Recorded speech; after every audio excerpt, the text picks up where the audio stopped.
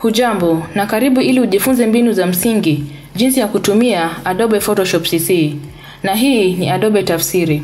Kwenye mafunzo yetu ya leo tutajifunza jinsi ya kufanya kazi na adjustment layers ndani ya Photoshop CC.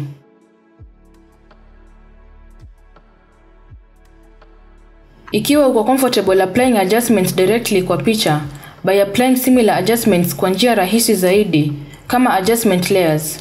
Juu ya layers panel, hakikisha uko na selected layer hapo juu ambapo unataka adjustment layer yako. Keeping in mind kwamba adjustment layer ita affect layers zote chini yake kwa default. Nimechagua top layer hapa ambayo iko na hii small photo ya bouquet. Sasa wacha tuongeze adjustment layer. Njia moja ya kufanya hivyo ni kwenda chini kwa layers panel na uklik hii icon inayofanana na half black half white circle. The menu that pops up iko na same adjustments nyingi ambazo unaweza apply kama direct adjustments kutoka kwa image menu juu ya screen, lakini applying them kutoka hapa kama adjustment layers inakupatia more editing flexibility and protects picha yako original kwa direct changes. Nitachagua black na white adjustment layer. Hiyo ilifanya two things.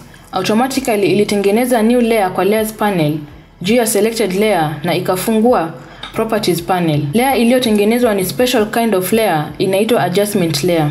Haina content ya picha yake yenyewe.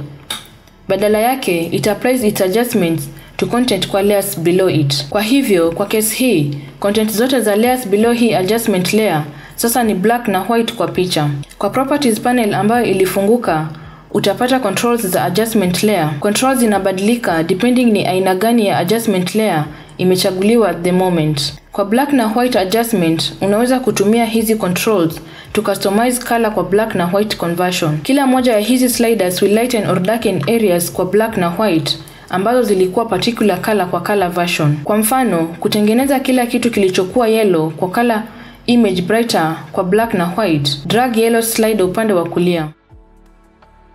Na kutengeneza kila kitu kilichokuwa green kwa color image darker kwa black na white, drag rings slider upande wa kushoto.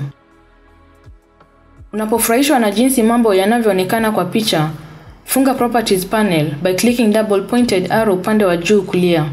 Good news kuhusu adjustment layer ni kwamba unaweza access hizo controls tena wakati wote na kufanya more changes. Kufanya hivyo, hakikisha tu kwamba black na white one adjustment layer imechaguliwa kwa layers panel na uclick properties panel icon tena. Ikiwa huoni hiyo icon kwa hii collapse panel, nenda juu kwa window menu juu ya screen na uchague properties kutoka hapo. Unaweza tu drag more sliders tena ikiwa huna uhakika which of the color range sliders corresponds to which part ya black na white image. Let Photoshop CC figure that out for you by activating hii targeting tool alafu clicking on something kwa picha ambayo unataka to lighten au darken kama hii flower. Drag upande wa kushoto to darken au upande wa kulia to lighten. Keep in mind kwamba ukifanya hivyo unabadilisha sio tu brightness ya object you clicked on the flower, unabadilisha pia kila kitu kilichokuwa the same color kwa color version ya picha. Kufunga properties panel, click kwa double pointed arrows.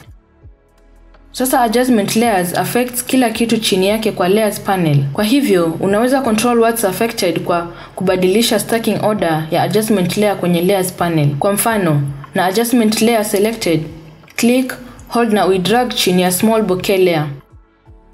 Na sasa small bokeh layer haiko affected na black na white adjustment na small bokeh photo inabaki kwa color.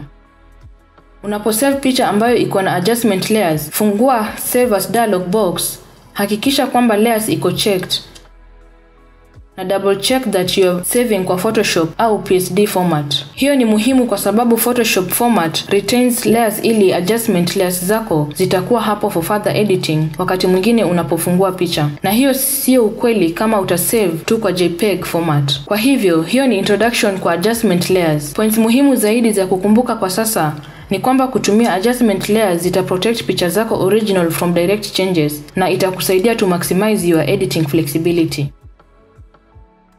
Huo ndio mwisho wa mafunzo yetu kwa leo, na kwa mafunzo zaidi tembelea tovuti www.adobe.com. Na hadi wakati mwingine, asante sana kwa kutazama. Kwa heri.